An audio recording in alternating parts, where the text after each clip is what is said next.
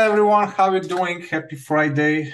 This is Jordan from the Traders Terminal, and today I'd like to dedicate this video to the crypto space. Now, given the most recent events from the last few days regarding the Ripple case, uh, a what-if scenario came to my mind, and I've decided to make a video about it. Before we move on to the actual Ripple chart, however, I would like to lay the foundations using the Bitcoin chart because we're going to talk about correlations here and possibly a repeatable pattern, but let me walk you through my idea. Now, as you can see, this is the 2018 massive push up, which followed uh, by this pullback, and then we got the next move to the upside. What I'm interested in here is what happened from this point in moment, which was the swing high, versus this point in moment, which was the absolute bottom there, right?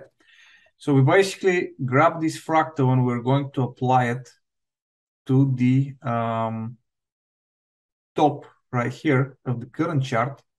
And we can see that in terms of time, the price is pretty much coming to the end of it, which means now we can be thinking about two things. Is the price going to continue lower as it did previous time, which by the way created approximately 83.4% pullback there, okay, and do the same thing, or is it going to remain in the same zone?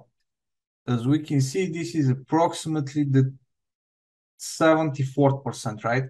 If it goes to this 83, 84, 85% level, the price will need to go to approximately 11,500 or so, plus minus a bit. We have many um, technical levels there that we can use, but in general, this is the zone. So that's one, all right? This is the first thing we need to consider. Second thing is that we have this logarithmic channel and the price of Bitcoin is currently at the bottom of this logarithmic channel. And all things equal, if the, history is to repeat itself, we know that from these levels, approximately the price tends to push to the upside. Uh, but now back to, to this chart, as I said. So if that was the bottom, right, look what happened afterwards. There was this initial pumping phase followed by this very long pullback or consolidation afterwards, and only then massive move up. So how is all this correlated to the Ripple price? Well, what I'm thinking is since uh, XRP chart find a lot of momentum because of the um, involvement of the case and the summary judgment and all that, we can see that the price created this massive push upside. So bottom line for me is what if Bitcoin is very close to this at least initial stage massive push up because we know that Ripple is usually a lagger. It tends to move near the end of the cycle. But what if this time we have the sentiment, positive sentiment of the case, right? Plus Bitcoin starting to move up, right? What kind of uh, outcome can we get from this kind of combination. And this is the big what if scenario. now, if I had to speculate on a pure technical level, looking at the price action there, we can see that naturally the price is respecting the previous zone, which is around 30, right? 30 cents right here. And it started forming this consolidation.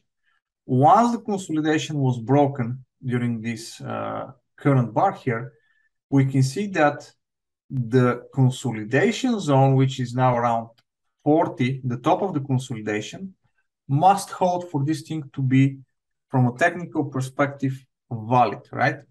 So it's all about what Bitcoin is going to do in the next few weeks. Are we going to get this push down towards 7,000, 11,000, 10,000 dollars, right? Or the price will start pushing upwards and this chart will manage to grab this attention, bullish attention to the cryptos and be applied to this specific token, which is the XRP. So it's all about this kind of combination and how things could play out when exactly Bitcoin is going to start giving some kind of push to the upside. Is it going down for one more leg or not?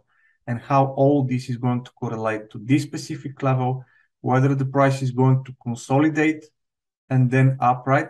All these kind of combinations are very interesting, but I thought it's an interesting thing to be shared for you to get prepared if you uh, still miss on this opportunity to join somehow. All right, if you have any questions, let me know in the comment section and I'll see you in the next video. Thank you.